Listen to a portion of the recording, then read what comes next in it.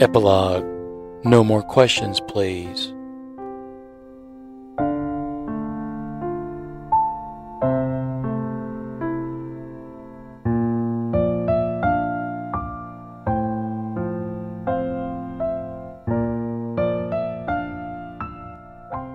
At last it is done. It was not much fun, but it was a lot of work. Now, I pray you, muses, release me to be free. I promise you all that this was my plea. Raymond and his team will be sorely missed as they go to better places.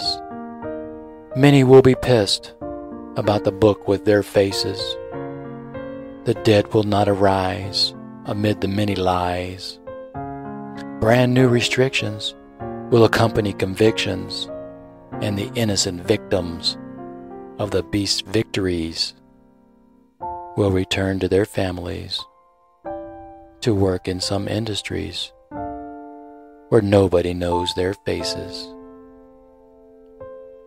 Without medals or celebrations, they take a rest with elations, being their only reward.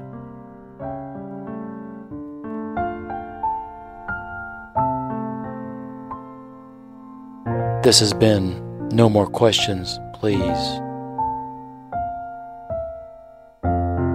Thank you for listening.